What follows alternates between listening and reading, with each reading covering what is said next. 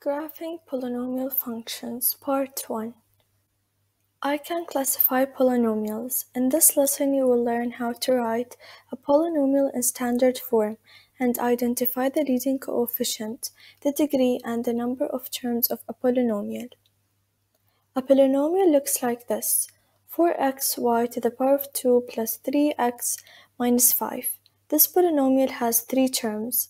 The first one is 4xy to the power of 2, second is 3x, and the third is negative 5.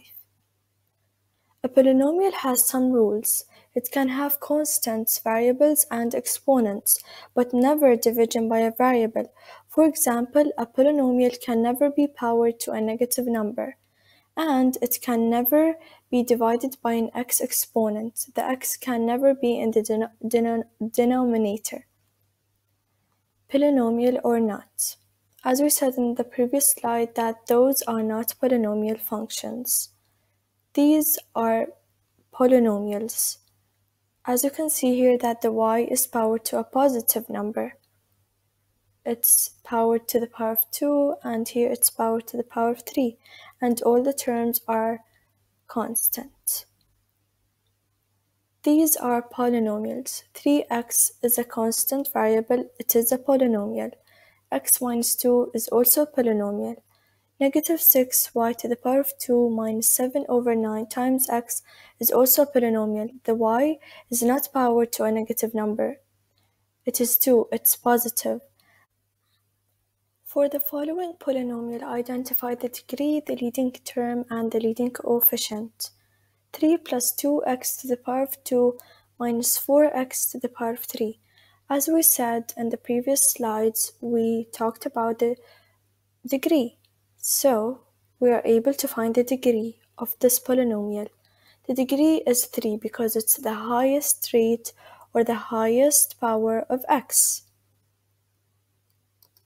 So the highest power of x is 3, so it's the degree. The leading term is the term containing that degree. So and we have that x to the power of 3, the 3 is the degree. And this term that is containing that degree is negative 4x to the power of 3. This is the whole term that containing that degree. So the term is negative 4x to the power of 3. We have here three terms. 3 is the first term, 2x to the power of 2 is the second term. The third term is negative 4x to the power of 3. So this polynomial has three terms. The leading coefficient is the coefficient of that term. So we said that this is the leading term that has the degree of 3. So the leading coefficient is negative 4. For the following polynomial, identify the degree, the leading term, and the leading coefficient. 5t to the power of 5 minus 2t to the power of 3 plus 7t. The degree is the highest power of t in this polynomial. So the highest power is 5.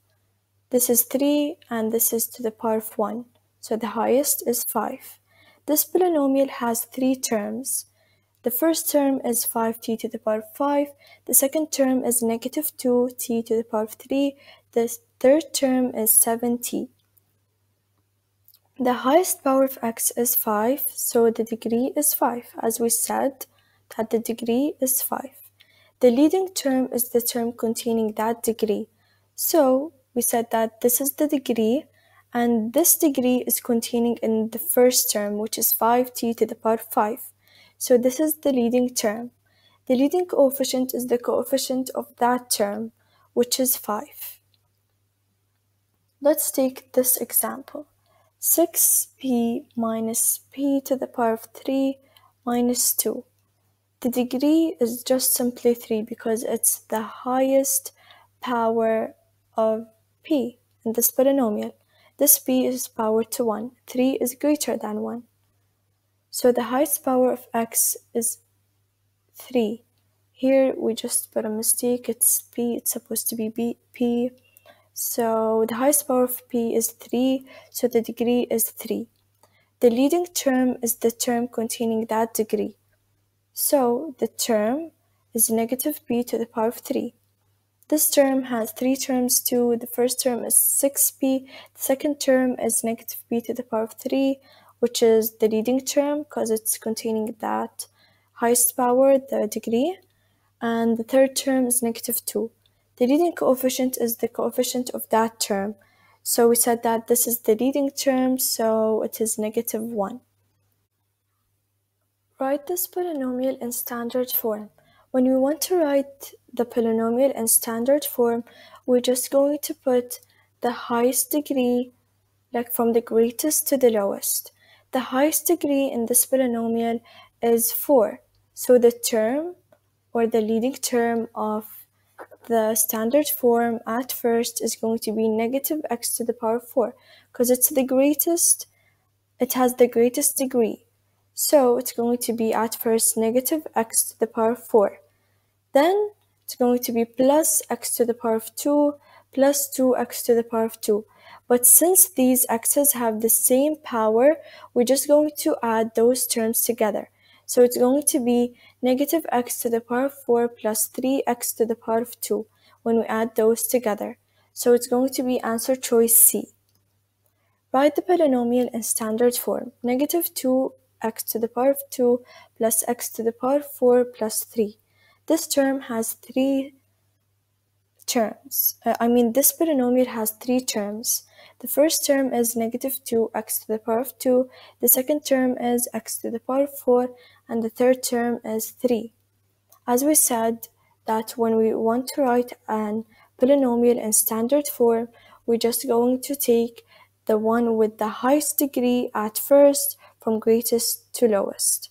So the greatest power here is x to the power 4. So x to the power 4 is going to be in the front. The second highest power is negative 2x to the power of 2. The 2 is the second highest degree. The 3 has no degree, so it's going to be at last. So it's going to be x to the power 4 minus 2x to the power of 2 plus 3. So it's answer choice B. Which of the following statement is true of the polynomial? X to the power of 2 plus 6x to the power of 3 minus 4 plus 2x to the power of 5. The highest degree in this polynomial is 5 because it's the highest number of a power of x. We, here we have four terms. So, is it A? The degree of the polynomial is 1. No, it is 5 because it's the highest degree. The leading coefficient of the polynomial is 1. Nope, it's not 1. We said that the degree is 5 and the leading coefficient is 2, which is in the leading term of the degree of 5. The polynomial in standard form is 2x5 plus 6x to the power of 3 plus x to the power of 2 minus 4. Let's see. 2x to the power of 5. Yes, it's correct. It's going to be at first because the 5 is the highest power of x. Then the second is 3, yes. Then the third is 2 and negative 4 has no power or uh, any other exponent. So, yep, C is correct. Let's see D. The polynomial is a trinomial. Nope, it's not a trinomial. So, it's answer choice C.